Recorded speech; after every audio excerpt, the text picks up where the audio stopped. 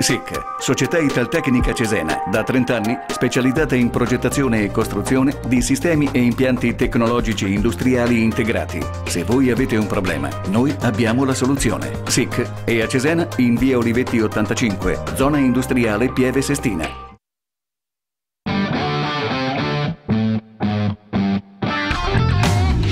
Infotech, il partner HP in Romagna. Frigoriferi industriali. Soluzioni all'avanguardia nella refrigerazione industriale.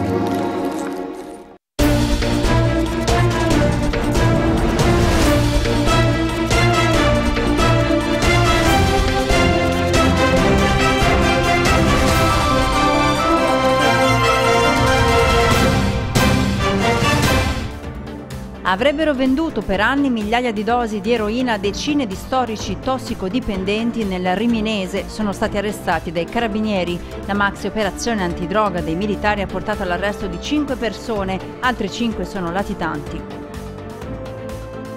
Sarà l'azienda proprietaria dell'autocisterna coinvolta nell'incidente di Bologna a farsi carico dei risarcimenti del sinistro che ha provocato un morto, 145 feriti e 10 milioni di danni. Il sindaco ha preso contatti con l'assicurazione per quella che potrebbe essere un'ingente constatazione amichevole.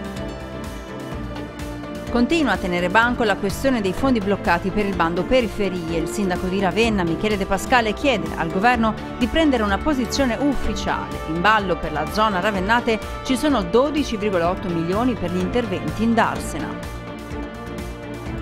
Sul tema del bando periferie si inasprisce il dibattito a Rimini. Dopo lo sfogo del sindaco Gnassi che ha parlato di rapina, Lega e 5 Stelle replicano duramente. Gnassi delira, ha attaccato la parlamentare riccionese Raffaelli. Il suo progetto ha ottenuto una pessima valutazione, ha rincarato la consigliera regionale Sensoli.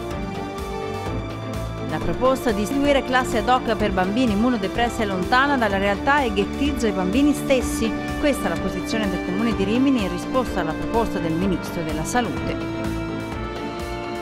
Calcio, Davide Biondini ha sposato la causa del Cesena con l'entusiasmo di un ragazzino. L'ex giocatore del Sassuolo si è messo a disposizione di mister Angelini e vuole farsi trovare pronto in vista dei primi impegni ufficiali. Questo è il telegiornale della Romagna. In studio Elisabetta Zandoli. Buonasera e ben ritrovati a questa nuova edizione del nostro telegiornale serale. In apertura la cronaca maxi operazione antidroga nel Riminese con le indagini che hanno lambito anche il territorio ravennate. I carabinieri di Rimini hanno arrestato cinque soggetti per spaccio di eroina mentre altri cinque risultano al momento latitanti. Uno di loro è morto totale certezza di questi 5, 4... Avrebbero venduto per anni migliaia di dosi di eroina a decine di storici tossicodipendenti della periferia riminese. Le indagini dei carabinieri coprono i primi dieci mesi del 2017. In quel periodo sarebbero state almeno 2000 le cessioni da parte di due gruppi di spacciatori che operavano nella striscia di campagna tra i quartieri di Gaiofana e Tomba Nuova. I rapporti intercorrevano tra i due gruppi? I due gruppi erano in uh, relazioni amicali tra di loro. Uh, lo studio dei profili Facebook infatti ci ha confermato che sebbene operanti in due zone diverse e separati tra di loro, di fatto erano tutti amici. 11 le misure cautelari, di cui 10 in carcere e un obbligo di presentazione alla polizia giudiziaria. 5 gli arrestati fino ad ora, altri 5 risultano latitanti e si trovano probabilmente all'estero, mentre uno è deceduto nel 2017 in un incidente stradale sull'Adriatica, strada ben conosciuta da tutti i soggetti che in tempi recenti si sono trasferiti nelle Ravennate. Fondamentale per le indagini anche lo studio dei profili Facebook degli arrestati. Un'attività svolta con metodiche tradizionali, quindi escutendo a sommare informazioni gli acquirenti, predisponendo dei fascicoli fotografici con i soggetti che eh, sono dediti all'attività di spaccio sul territorio, fascicoli che sono, sono stati predisposti grazie alla capacità dei militari, alle loro conoscenze dei soggetti di interesse operativo presenti in città e anche grazie allo studio eh, in maniera ovviamente eh, investigativa dei profili Facebook di questi soggetti che ci hanno dato modo di avere delle fotografie aggiornate determinate e di addivenire all'individuazione di tutti i componenti dei due gruppi. Uno nel centro di Ravenna, un altro invece... Ci spostiamo sul nostro portale tr24.it, un fuoristrada con quattro giovani a bordo, due maschi e due femmine tra i 17 e i 24 anni, tutti della Romagna, si è rovesciato oggi pomeriggio in una strada boschiva bibbiana di Palazzolo sul Segno in provincia di Firenze. Il conducente Paolo Badiali, 24enne di Faenza, è morto. Sono rimaste ferite anche due ragazze di 17 e 20 anni, una di Novare e l'altra di Forlì, accompagnate all'ospedale di Faenza. Il terzo ferito è un 22 22enne di Brescia portato in elicottero al Careggi di Firenze. I carabinieri hanno messo sotto sequestro il fuoristrada. Su indicazione del magistrato di turno la salma è stata lasciata a disposizione della famiglia. Il veicolo è un fuoristrada quanto si apprende inadatto alla circolazione su strade pubbliche ma che veniva utilizzato per uso privato in campagna. Follia a Rimini, una notte a sirene spiegate, quella di ieri nel centro storico in zona Ponte di Tiberio. Erano circa le 23 quando i passanti, secondo le testimonianze raccolte dalla polizia, hanno udito alcuni spari provenire dal bacino antistante il monumento romano. A quell'ora le vie dell'area erano piene di gente. Le volanti precipitatesi sul posto hanno individuato sull'argine del canale una ragazza italiana che pare fosse preda dei fumi dell'alcol. In seguito alla perquisizione gli agenti hanno trovato nella borsetta della giovane una pistola semiautomatica. In base alla ricostruzione la ragazza avrebbe raggiunto un'imbarcazione dalla quale avrebbe sparato alcuni colpi. Dall'episodio non risultano feriti e ora gli inquirenti stanno indagando sulla provenienza dell'arma da fuoco. E torniamo a parlare dell'incidente di Bologna, monta a 10 milioni la prima stima dei danni. Il Comune ha già preso contatto con la ditta proprietaria dell'autocisterna che ha causato la serie di esplosioni a catena che si è detta pronta al completo risarcimento e nel frattempo arrivano le barriere anticuriosi. Sarà l'azienda proprietaria dell'autocisterna coinvolta nell'incidente a farsi carico di tutti i risarcimenti della terribile serie di esplosioni che ha coinvolto Borgo Panigale nella giornata di lunedì, causando un morto, 145 feriti e almeno 10 milioni di danni. Questa è la prima stima in euro sui costi di ricostruzione effettuata dal Comune, anche se le cifre sembrano destinate ad aumentare. A Palazzo d'Accursio hanno già preso contatto con la compagnia assicurativa della loro Fratelli SPA, l'azienda coinvolta nell'incidente, per mettere in piedi quella che potrebbe essere la più grande constatazione amichevole della storia. Secondo i piani ogni cittadino dovrebbe documentare i danni subiti e prendere contatto con il comune che provvederà a farsi da tramite con l'assicurazione. In ballo ci sono i circa 5 milioni di risarcimento alle due concessionarie assieme alle tante abitazioni che sono state investite dall'onda d'urto, per non parlare degli edifici pubblici, tra questi anche due scuole e di tutti gli altri danni collaterali. Altro problema da affrontare riguarda quello della viabilità. In tal senso Autostrade ha assicurato che non ci sono stati danni alle arterie principali e quindi non ci dovrebbero essere particolari disagi per la circolazione oltre a quelli causati normalmente in questo periodo dall'esodo estivo. Nel frattempo hanno fatto la loro comparsa le prime barriere anticuriosi montate sul cavalcavia che dà sulla tangenziale per evitare che gli automobilisti rallentino per guardare il cantiere. A tornare sui fatti di lunedì è infine il vescovo di Bologna, Monsignor Zuppi, che ha scritto alla questura per ringraziare le forze dell'ordine che si sono adoperate nei soccorsi. Si è vista all'opera una grande capacità degli uomini, ma non solo, aggiunge Zuppi, assieme a loro ha agito anche la provvidenza divina. E questa mattina sui luoghi dell'incidente ha fatto un sopralluogo il comandante nazionale del Corpo dei Vigili del Fuoco. Sentiamo. Le ruspe sono ancora in azione, i camion rimuovono i detriti mentre vengono abbattuti gli alberi colpiti dall'onda di calore e diventati pericolosi in via Caduti di Amola. Terzo giorno dopo l'incidente sul viadotto autostradale e a Borgo Panigale si continua a lavorare nel grande cantiere. Sopralluogo del comandante nazionale del Corpo dei Vigili del Fuoco Gioacchino Giomi, che fin dai primi minuti dopo l'incidente dal Viminale è stato sempre in contatto con il comandante provinciale e il direttore regionale dell'Emilia Romagna. La situazione una situazione stabile, stanno come anche voi potete vedere lavorando per togliere i detriti, sono state fatte le prove di carico per la porzione di, eh, di strada che è rimasta integra, quindi il, il traffico veicolare può regolarmente fluire. Un'esplosione così non si vede di frequente, ha detto. Il sistema per gestire l'emergenza ha funzionato bene. Il perimetro della zona da verificare per ora non si estende. Non ci sono edifici nuovi da controllare, ora sarà eventualmente necessario, ma lo facciamo, lo fac è il nostro compito, lo facciamo volentieri e ci sarà necessità di andare a controllare su richiesta specifica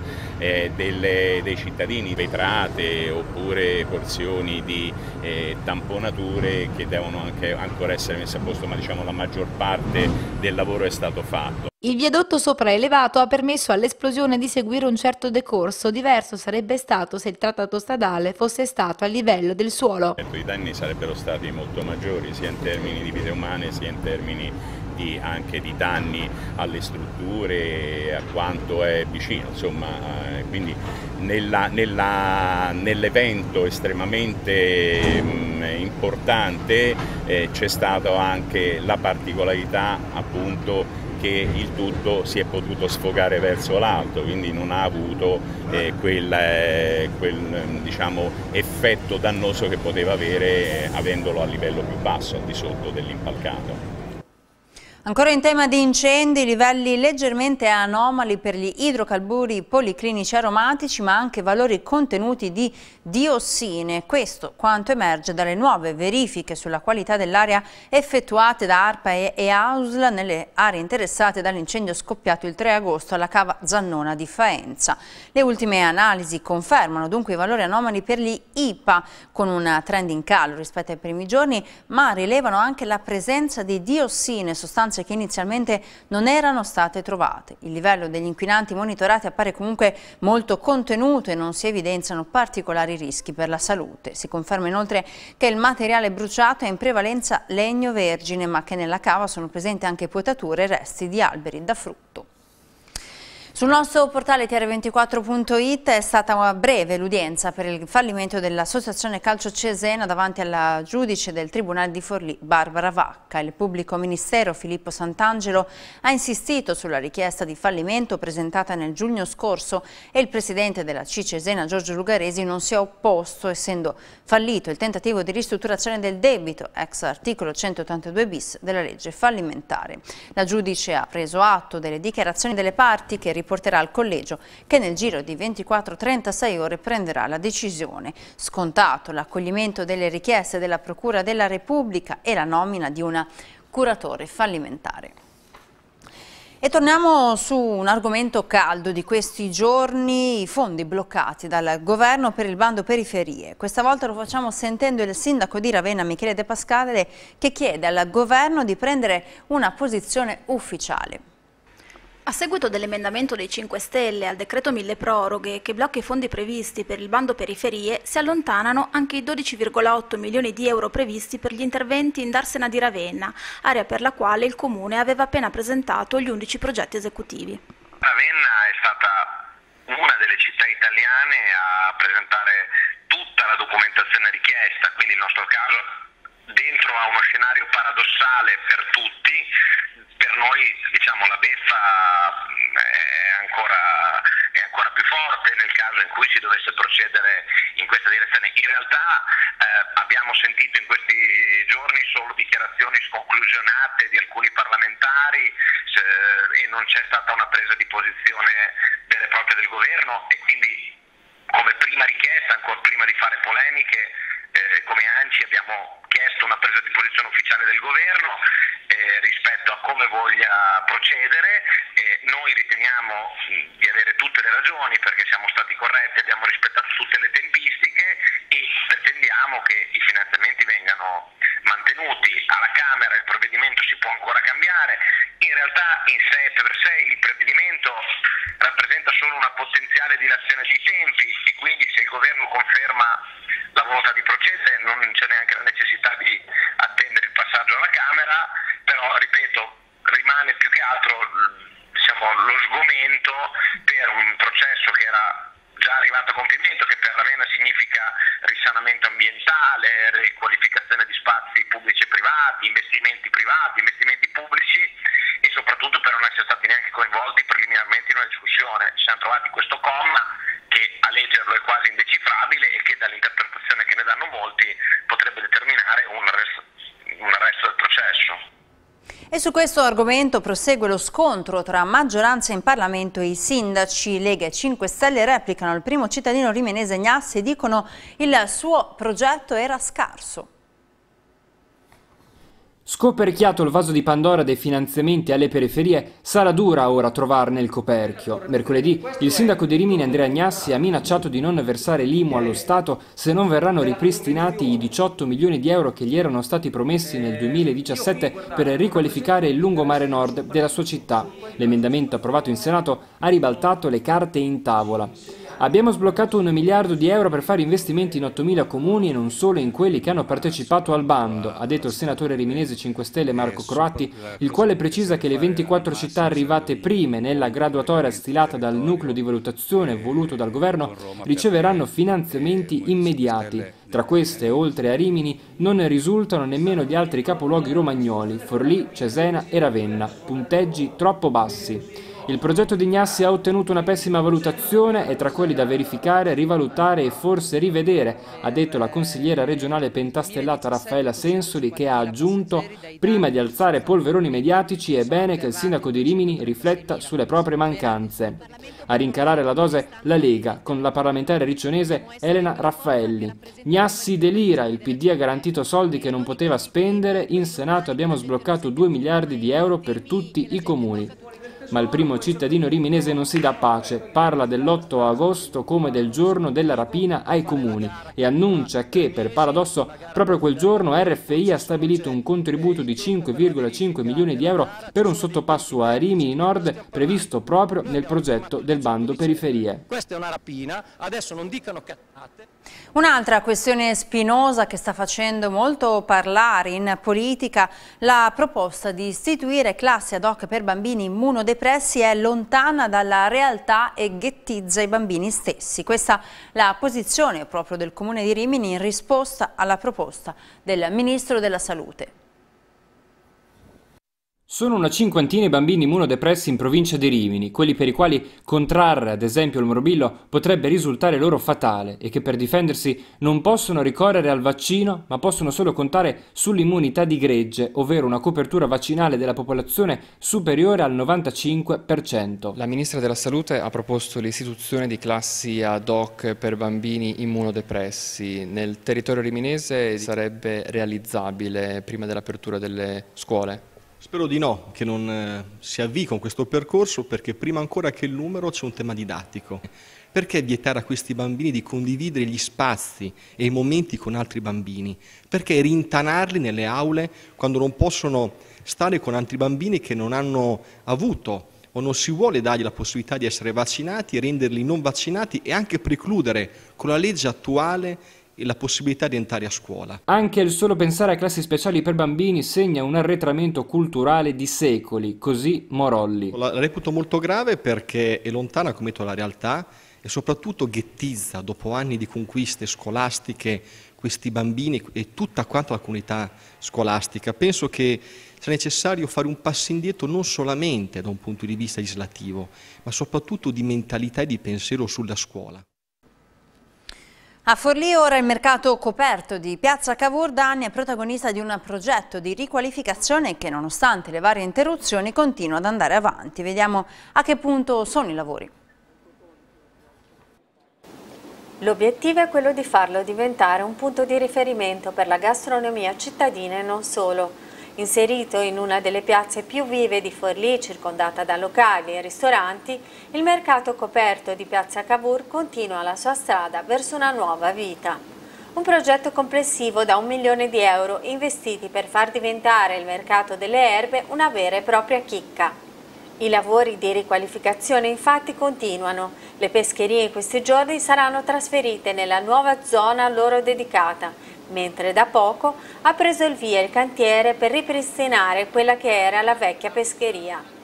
I lavori dovrebbero finire entro Natale. In quell'area verranno poi trasferite tutte le attività ortofrutticole. Nel frattempo verranno smantellati i banchi al centro dell'antico mercato coperto e riqualificati i negozi posizionati vicino all'ingresso. Il primo stralcio di lavori dovrebbe terminare entro il prossimo dicembre e già con l'anno nuovo si pensa di partire con il secondo lotto che prevede l'eliminazione dell'attuale tettoia.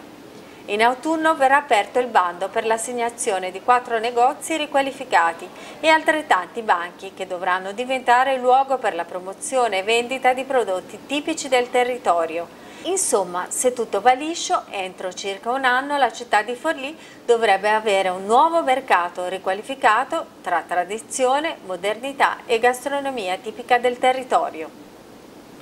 Ancora le notizie con le nostre brevi. Bologna. Un 42enne del Bangladesh è stato rapinato la scorsa notte dall'uomo con cui si era accordato per un affitto un brasiliano 29enne che ha agito con la sorella e un marocchino di 21 anni. Dopo avergli sottratto il portafoglio e il cellulare, i tre sono stati arrestati. Forlì. Si segue la pista dolosa per l'incendio che si è sviluppato ieri sera in un appartamento di Castrocaro. Le fiamme sono partite dalla camera da letto, ma il 54enne che normalmente la occupa non era in casa. I tecnici stanno valutando l'agibilità della struttura. Rimini. Il comune ha sottoscritto un accordo con casevacanza.it, sito leader per gli affitti turistici, per rendere automatica la riscossione della tassa di soggiorno. I prezzi degli alloggi disponibili sulla piattaforma online saranno già comprensivi dell'imposta. Rimini. È stato confermato per i prossimi tre anni il Gran Premio di San Marino e della Riviera di Rimini. La MotoGP correrà sul circuito di Misano Adriatico fino al 2021 con possibile proroga per altri due anni. Lo hanno annunciato i comuni rivieraschi e la Repubblica di San Marino.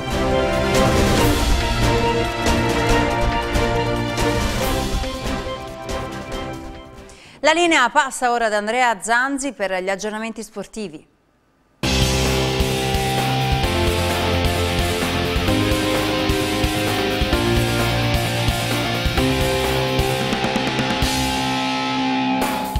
Bentrovati su TR24 Sport. Subito con il calcio e le dichiarazioni di Davide Biondini, la chiamata del Cesena è stata come una bomba, così il centrocampista che è tornato in bianconero dopo ben 15 anni, ora avrà il compito di guidare i più giovani in mezzo al campo. Vediamo. È sembrata una trattativa lunghissima, ma alla fine è stato forse più semplice di quanto si si possa pensare. La difficoltà più grande per me è stata quella di eh, cambiare idea su quello che era il mio, il mio futuro perché io avevo deciso di, di, smettere per fare qualcosa di diverso e misurarmi con, in, un, in, un, ambito eh, diverso, quindi al di fuori dal campo e ho accettato di, di continuare a giocare solo per il, per il Cesena. Questa cosa del Cesena è arrivata come un una bomba e ha scombussolato tutto quanto, quindi mi è ritornata diciamo, la voglia di, di giocare, di mettermi, di mettermi, in campo per dare una mano a quella che oltre ad essere la squadra in cui sono cresciuto è anche la città a cui tengo di più. Penso che la, la convivenza con Beppe sia la, la cosa più facile di, una, di un'avventura che sarà difficilissima per tantissimi motivi però adesso si deve ripartire, è inutile pensare a quello che era il Cesena fino a un mese fa, perché per noi può essere solo un peso e un fardello che non possiamo permetterci di portarsi dietro. Noi dobbiamo solo pensare che abbiamo la possibilità di riscrivere la storia di questa società partendo da, da una pagina bianca. E Fabio Scozzoli ha coronato la propria partecipazione ai campionati europei di nuoto a Glasgow, conquistando una splendida medaglia d'argento alle spalle del fenomeno di casa Adam Pitti, in servizio. È terminata con una grandissima soddisfazione la prova di Fabio Scozzoli nei 50 rana ai campionati europei di Glasgow. Il Forlivese ha chiuso la propria gara conquistando una medaglia d'argento grazie all'ottimo tempo di 26,79. Perfetta la sua strategia, a cominciare dalla partenza, lanciatissima davanti a tutti gli umani, ma non ad Adam Pitti, mostruoso per tre quarti di gara fino a chiudere in 26 e 09. Terza prestazione di sempre sulla distanza breve.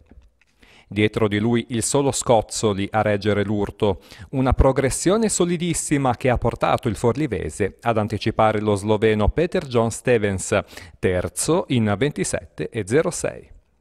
Era dal 2012 che Fabio non riusciva ad agguantare un podio europeo. Su questa distanza i campionati di Debrecen in puro clima preolimpico. Sei anni dopo il Forlivese sembra ormai rinato, un campione nel pieno della propria maturità, come ha poi confermato nell'intervista concessa al termine della gara. Sono venuto qui per ottenere esattamente questo risultato e quindi ho raccolto il massimo. Non sono nella condizione migliore, ma alla fine ho tenuto e questo argento mi ripaga dei tanti sacrifici compiuti in questi ultimi anni, in cui sono riuscito a tornare competitivo ai massimi livelli. Queste le sue parole da vice campione europeo dei 50 Rana. E per il volley si è scelta la linea della continuità in casa Olimpia Teodora.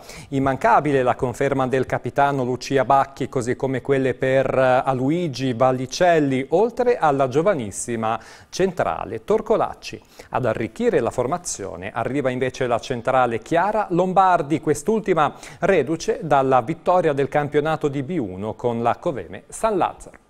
È tutto per questa edizione, grazie dunque per essere stati qui con noi. E linea che torna a Elisabetta Zandoli. Arrivederci.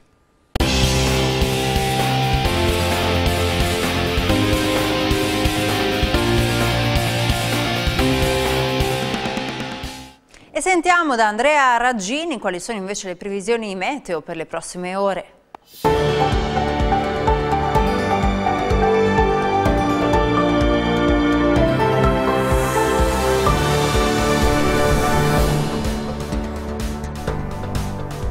Buonasera a tutti i telespettatori di TR24 e Teleromagna da Andrea Raggini. La giornata di venerdì inizierà con cieli per lo più sereni o poco nuvolosi in Emilia Romagna. Tuttavia nel corso del pomeriggio la nuvolosità aumenterà, infatti siamo sotto la protezione dell'alta pressione ma aria leggermente più fresca in quota potrebbe determinare un nuovo aumento dell'instabilità. Infatti nel pomeriggio si formeranno addensamenti e rovesci sul nostro Appennino che localmente però potrebbero interessare anche i settori centro-orientali della nostra regione, soprattutto ferrarese, bolognese modenese e parte delle aree collinari del Ravennate. Per quanto riguarda le temperature saranno comunque eh, alte e su valori ampiamente estivi, infatti i valori minimi saranno compresi tra 21 e 25 gradi, i valori massimi invece compresi tra 30 e più 36 gradi.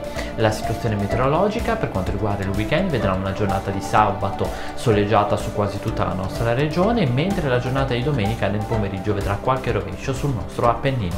Temperature in flessione soprattutto sui settori orientali nel corso del fine settimana. Per questo appuntamento è tutto, buona serata da Andrea Raggini.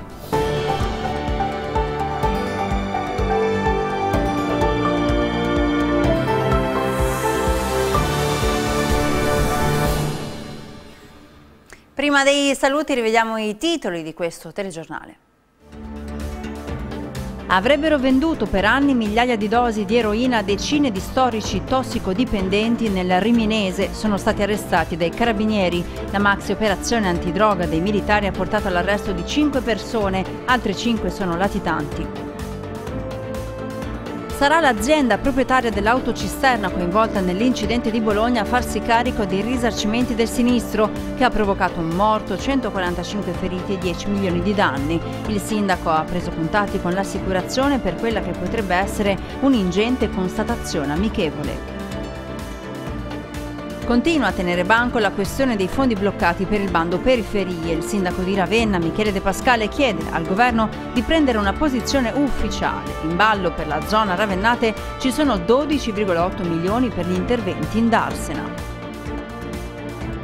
Sul tema del bando periferie si inasprisce il dibattito a Rimini. Dopo lo sfogo del sindaco Gnassi che ha parlato di rapina, Lega e 5 Stelle replicano duramente. Gnassi delira, ha attaccato la parlamentare riccionese Raffaelli. Il suo progetto ha ottenuto una pessima valutazione, ha rincarato la consigliera regionale Sensoli. La proposta di istituire classi ad hoc per bambini immunodepressi è lontana dalla realtà e ghettizza i bambini stessi. Questa è la posizione del Comune di Rimini in risposta alla proposta del Ministro della Salute. Calcio, Davide Biondini ha sposato la causa del Cesena con l'entusiasmo di un ragazzino. L'ex giocatore del Sassuolo si è messo a disposizione di mister Angelini e vuole farsi trovare pronto in vista dei primi impegni ufficiali.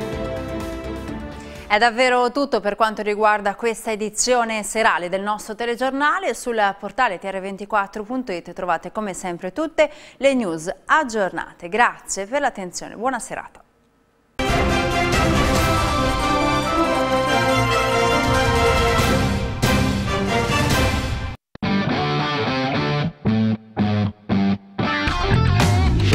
Infotech, il partner HP in Romagna. Frigoriferi industriali, soluzioni all'avanguardia nella refrigerazione industriale. SIC, Società Italtecnica Cesena, da 30 anni specializzata in progettazione e costruzione di sistemi e impianti tecnologici industriali integrati. Se voi avete un problema, noi abbiamo la soluzione. SIC è a Cesena in via Olivetti 85, zona industriale Pieve Sestina.